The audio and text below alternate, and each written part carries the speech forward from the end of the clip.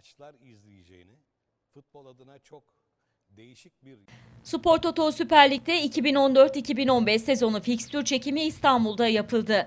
18 takımın mücadele edeceği Spor Toto Süper Lig'de yeni sezon 29, 30, 31 Ağustos tarihlerinde oynanacak ilk hafta maçlarıyla başlayacak. Bu sezonki planlamaya göre ligin ilk devresi 17. hafta müsabakalarının oynanması beklenmeden 2, 3, 4 Ocak 2015 tarihinde yapılacak 16. hafta maçlarının ardından tamamlanacak.